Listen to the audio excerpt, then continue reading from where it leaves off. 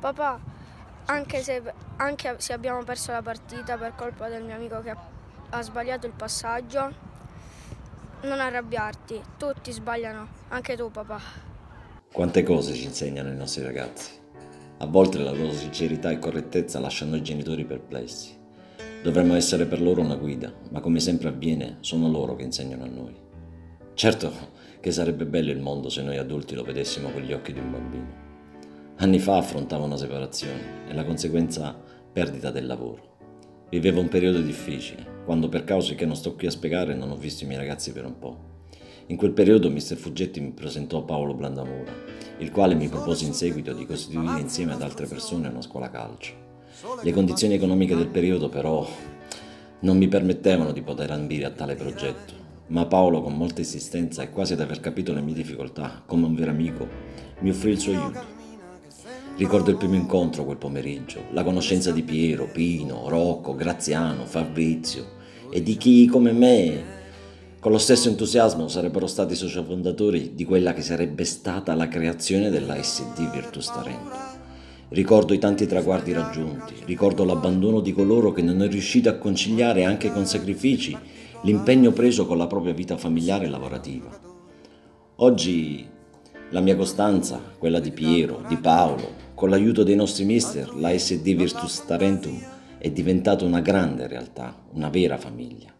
Grazie a voi genitori che ci sostenete con la vostra collaborazione e sacrifici, che supportato dal nostro sostegno insegnano ai nostri ragazzi il rispetto reciproco e il valore dell'amicizia, unito al gioco di squadra e quindi al divertimento per vederli sorridere, gioire e crescere. Per quanto sia breve la mia esperienza, il passare degli anni mi ha messo dinanzi a dirigenti cupi, allenatori irritabili e tifosi sguaiati, che hanno fatto perdere il sorriso ai giovani calciatori colpevoli esclusivamente di percepire ciò che l'adulto talvolta inconsciamente contro la propria volontà trasmette. Loro, loro che hanno come unico desiderio quello di divertirsi, con un pallone tra i piedi e in un ambiente sereno, non hanno bisogno di istruttori che trasmettono la smania per la vittoria. Hanno il diritto di sentirsi ripetere che la vittoria più grande consiste nel non adattarsi alla scorrettezza altrui.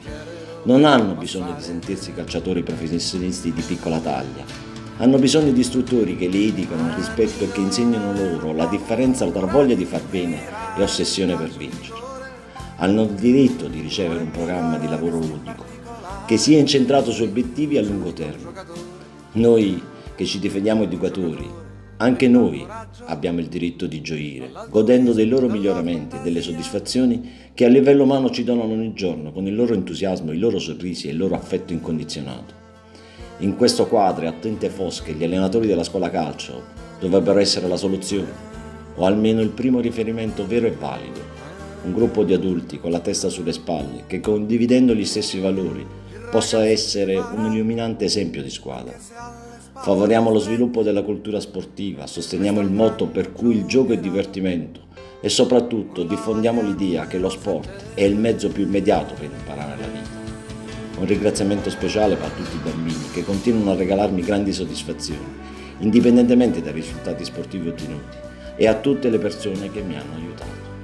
Un buon Natale bambini, un buon Natale ai genitori, un buon Natale a tutti. Per far felice un bambino bastano un pallone ed un maestro che si ricordi di essere stato bambino. Tanti auguri.